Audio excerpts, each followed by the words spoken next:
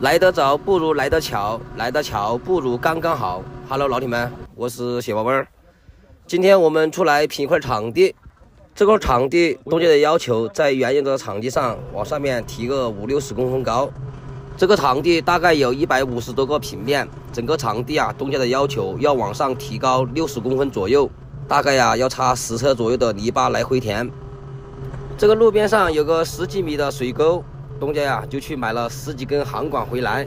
到时候我们把这个场地平整好了之后，再把这个航管安到这个路边上。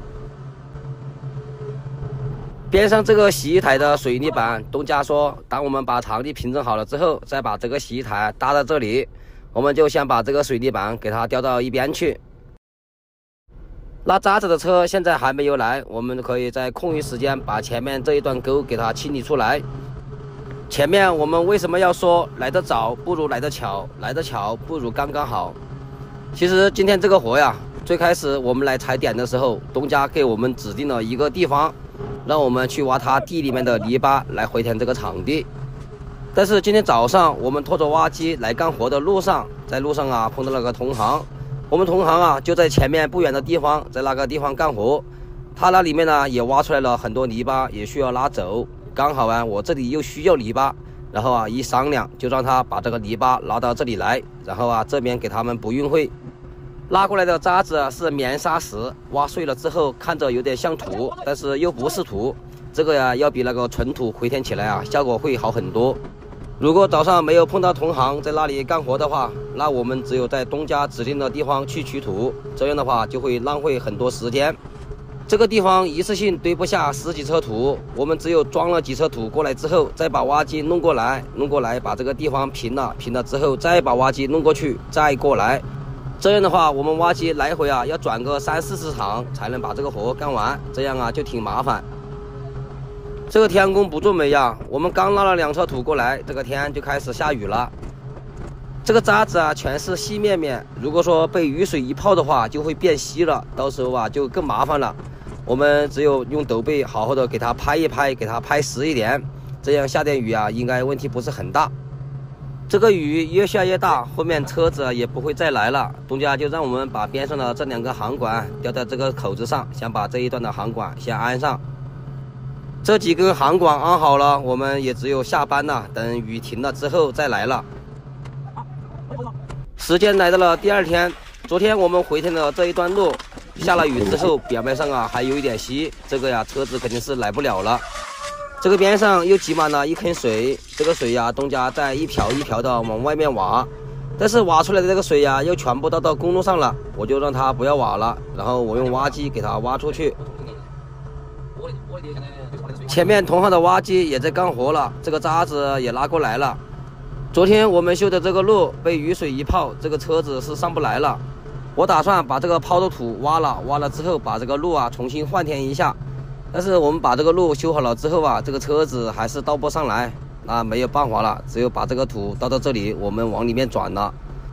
老铁们，你们看，以前的这个场地表面呢倒了一层混凝土，但是这个混凝土只有几公分厚。我挖了一下之后啊，下面呢全部都是泥巴。就算前面这个路口车子倒上来了，但是后面这个场地不一定呢就倒得上来。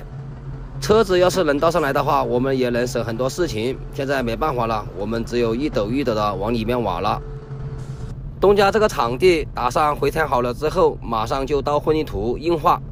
为了防止这个土层啊会往下沉，我们在回填的时候就二十公分左右，就用履带来回的给它压一压，压不到的位置啊，我们再用斗背给它拍一拍。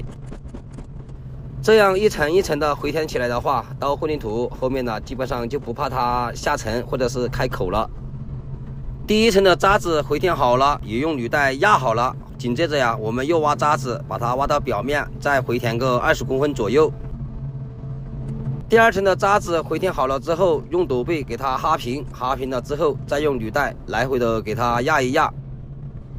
回填的第二层渣子我们压好了之后，这个高度还差接近二十公分。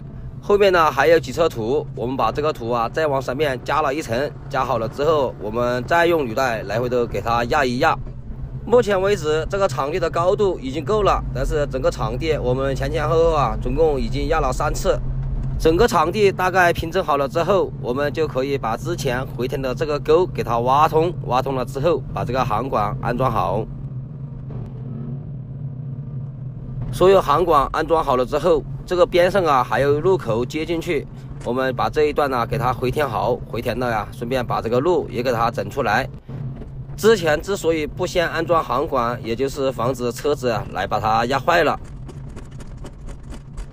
紧接着，我们再把整个场地再细细的给它收一收，给它收平顺，这也是最后一道了。整个场地平整好了之后，我们再用履带再来回的给它压一压，这也是最后一次碾压了。整个场地一百五十多个平面，高度六十左右，回填的土啊大概有十方左右。前前后后我们总共碾压了四次，才把这个场地平整好。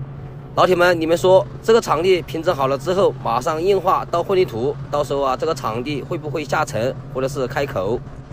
好了，兄弟们，今天这个视频就分享到这里，感谢点赞，感谢关注，我们下期再见。